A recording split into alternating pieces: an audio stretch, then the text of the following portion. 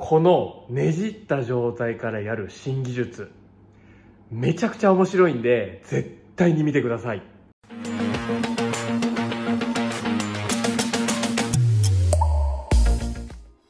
皆さんこんにちは。渡辺です。今回はこのねねじった状態から作るちょっと新技術のヘアアレンジをご紹介です。じゃあこれでね仕上がりどうなんの？っていうふうにね、えー、思うと思うんですけれどもこんな感じでねロープ編みになります。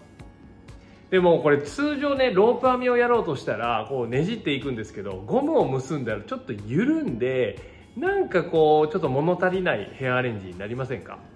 この両方ねじった状態でこうただ合わせてゴムで結ぶだけのロープ編みなんですけどこれちょっと手を離したらちょっとびっくりするぐらいのちょっと仕上がりになるので普段ねちょっとロープ編みちょっとやりたいけどあまりうまくいかないっていう方はぜひねこの方法試してもらってもいいと思いますしちょっとねあのヘアアレンジよくやられる方このアレンジ覚えておくとめちゃくちゃ面白いかなと思いますのでぜひねこのまま最後まで動画ご覧になってください。それでは早速始めていきたいと思います。じゃあまずこちら側で通常のロープ編みをやっていきます。通常だとねまあ大体半分に分けてこのままこうやってねじっていきます。でねじってこの毛先の部分で結んでいきます。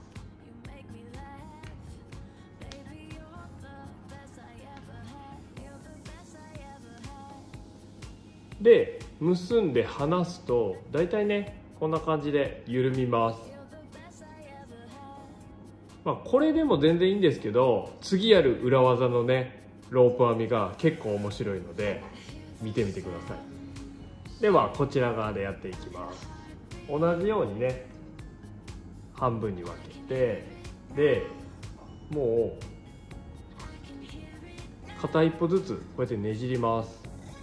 どっち方向でもいいので、まあ、今回はちょっとね前に向かってねじってます。で結構ね根元の部分から強めにねじるようにしてください。こんな感じで。でもう一個の部分も同じように前に向かって同じ方向でねじります。で根元の部分までしっかりとねぐっとねじるようにしてください。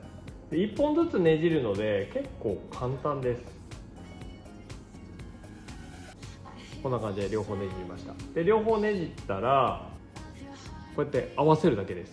あまりこれでねじったりはしないです。このまま合わせるだけでで毛先でまた結んでいきます。この時もねなるべくしっかりと結ぶようにしてください。でここからです。この結んでこの手を離すとどうなるかというとこのままぐるっとねじられます。でちょっと整えてあげるとさっきよりもね結構このロープ編みがねしっかりと編まれてる状態になるんです。